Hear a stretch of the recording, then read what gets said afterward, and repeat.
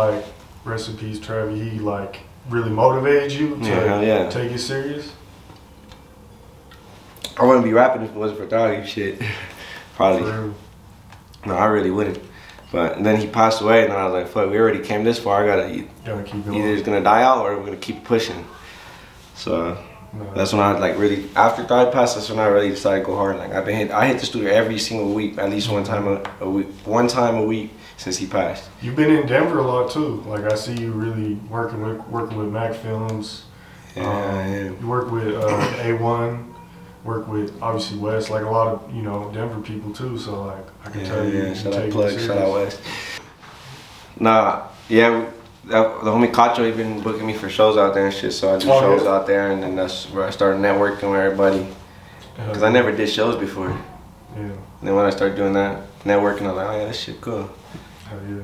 No, I feel like you you have like the the the power with your your your music. Like you could probably go to any city out here and really like get a bag. Like you know, do shows, features, interviews, whatever. You know. Yeah, I didn't even think it was like that until shit. When I went to Utah, I was just posted like Amy Mac doing the Yeah. package deal, and fools started tapping in. I'm like, damn, this was love out here. Yeah.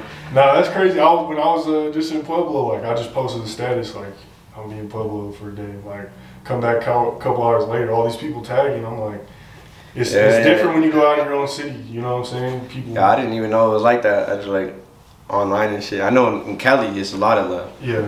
but I didn't know Utah shit like that. And then homies from like Oregon be buying verses. I'm like, damn, that's just crazy. I need to tap in with those states too, cause I've been to Cali, but And Cali's popping. hell yeah. So, how would you say like you and and, and Travi like built that fan base? You know what I'm saying? And like really, you know, going back to like let's say the first six months of you guys like starting to really push music out, do videos with VGV recipes, uh, you know, post them on like Latin Beast TV and stuff like that. What was like the how did you guys build that organic fan base so like fast? You know what I'm saying? And long live VGV, long live Travi. But um, I don't know. It's crazy. I don't know because we we were just taking YouTube beats. We weren't even buying them. Yeah. We just go record on them. Put a bullshit picture we took. Boom. Put it right there. Upload it, and then like 10k. Well, not instantly. It was like we started like 1k, then 3k, and it just kept going up. We started getting Instagram followers, but we never posted no video. We were just posting bullshit. We wasn't making no money. Yeah. It was just bullshit, dropping a little shit. It wasn't even mix or none of that. It was just bullshit. Yeah. And then we shot Thuggin. It was like last minute as fuck. Thriving hit me up. He's like, "Hey, let's shoot." I'm like, "What are we gonna shoot for? We got like three songs." yeah, yeah. so fucking, he's like, he's like, "Let's shoot Thuggin."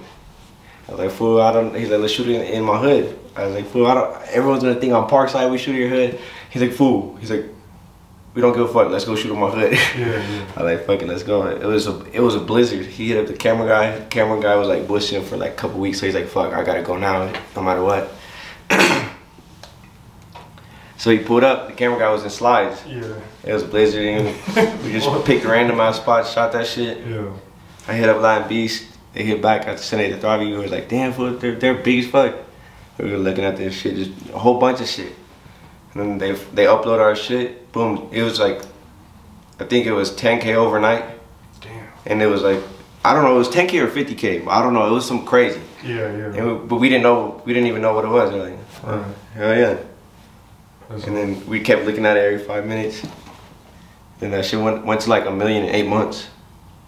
But that was the first video we ever shot, and that shit just took off. I don't I don't know how or what. That's crazy.